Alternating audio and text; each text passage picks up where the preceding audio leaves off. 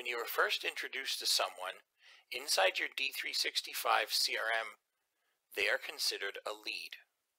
You can enter a lead into your D365 CRM directly on the convention show floor via the business card import scanner. As you work with your leads and discover their needs, you will want to qualify them. Qualifying a lead in D365 CRM will create a contact, an account, and an opportunity. To add a lead to my D365 CRM when I'm at a convention or a show, I can use my D365 phone app. I can start in my leads and I'm going to click the plus sign for the quick add. I'm going to quick add a lead, which will allow me to use the scan business card feature when I scan my business card, the phone's camera turns on and I can take a picture of my business card. And then the intelligence built into D365 analyzes that business card and fills in as much of the field as it can.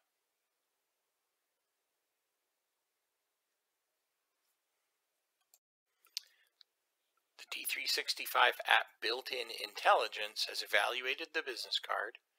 It's determined my name. It's found that my credentials are actually my last name. It's found my phone numbers. It's found the address and the province. It's found part of the postal code. But that's enough for it to find the location on Bing Maps.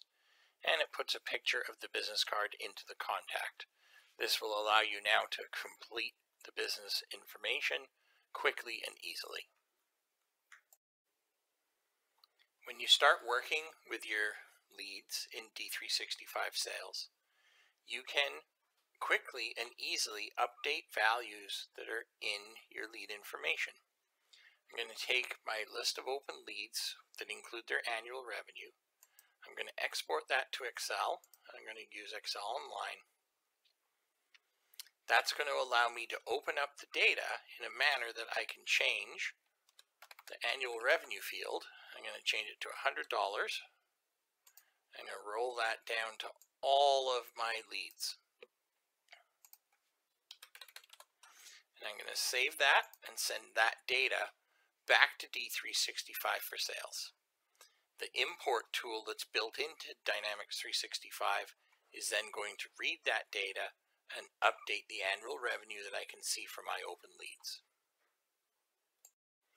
So I've refreshed my browser page and we can now see that the annual revenue for all my leads is now set to $100. So I'm going to start in my accounts view under the letter N so that I can show you that when I qualify a lead, the lead becomes a contact and account and an opportunity. So I'm going to switch back to my leads. I'm going to click on Ivan. And Ivan works for Northwind Traders. So we know that Northwind was not an account because we didn't see them in that last screen. So I'm going to qualify Ivan.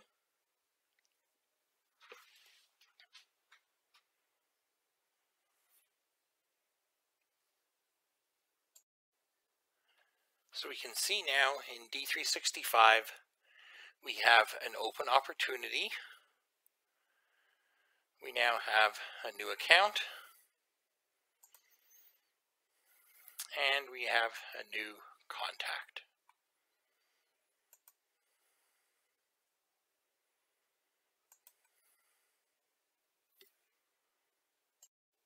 Switching to my sales dashboard, I can now see that my new opportunity, if interested in our new offerings, is on my opportunities list.